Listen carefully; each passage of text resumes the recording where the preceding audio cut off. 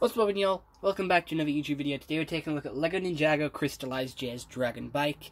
Uh, it comes with two minifigures and uh, a bike. So we're going to take a look at the bike first.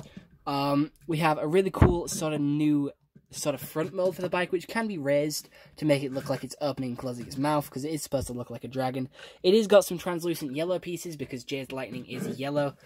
Um, there's a lot of uh, tiles on show with these nice golden sort of scale pieces here. We have some stickers on the sides, there, there, and there, just to sort of show um, Jay can stand there, it's his control panel, make it look nicer. This wheel is really cool. I like these wheel attachments that are in gold here, that just run along the rim of the wheel. Um, you can sort of align them to make them go in with the wheel. Um, sort of grooves, which is pretty cool. Uh, and sometimes they are all in line, sometimes they don't all match up. Um, but let's give it a roll test. It rolls pretty smoothly. Uh, it is a little bit wobbly because obviously there isn't balance to it. Um, however, that issue can be fixed with this um, sort of flag piece there. However, it does scrape across the ground and you can just like tilt it to make him go faster and pop it down just to prop up the bike so then it doesn't fall and tip. Honestly, it's a pretty cool bike for £17 or $17.99 as this set cost.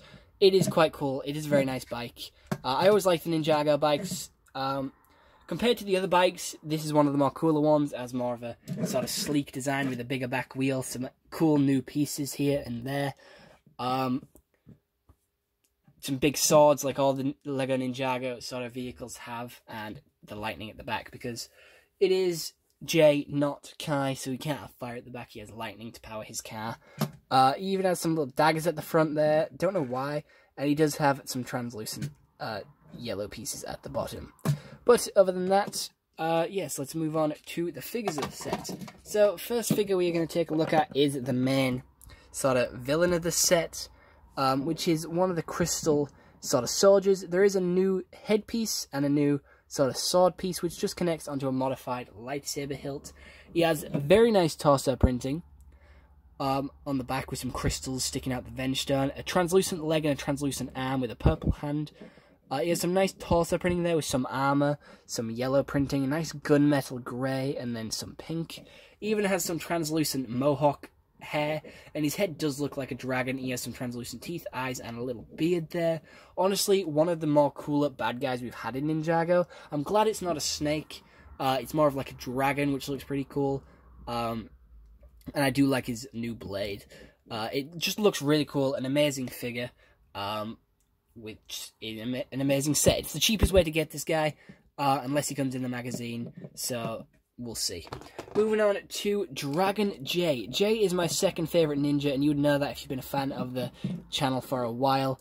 And in, him in his dragon form looks really cool. Um, we are getting Kai in his dragon form in the Lego Ninjago magazine, but currently you can only get Kai in his dragon form in the 34.99 set, which is Cole's car. I was going to get that, but then I saw uh, Kai was coming in the magazine. We might get more dragon people in the magazine, which would be really cool because Jay has a nice translucent headpiece there, uh, and he does look quite annoyed. Um, his eyes are sort of the bluish color, and he has a sort of bluish uh, outline to the face sparks. He has translucent arms and translucent legs with a little bit of printing. Um, it does give me like energy vibes, uh, just the way they look.